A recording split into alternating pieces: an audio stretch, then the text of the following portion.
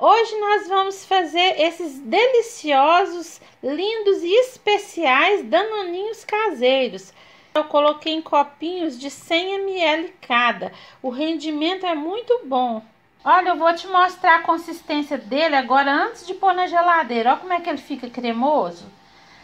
Então a gente pode consumir desse jeito, ó, ou então colocar na geladeira para gelar, fica mais gostoso ainda para quem gosta bem geladinho.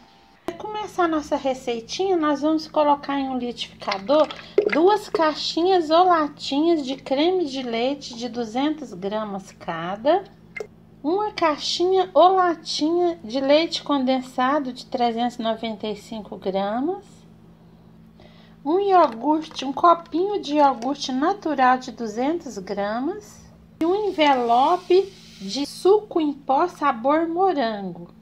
Então, eu vou colocar para bater no liquidificador e já mostro.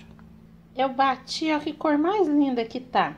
Aí, agora eu vou colocar nesses copinhos descartáveis. Você pode fazer para uso próprio ou para vender também.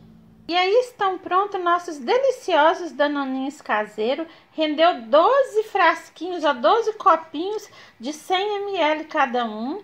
Então você pode fazer para consumo próprio ou até para vender, rende muito você vai gostar demais dessa receita.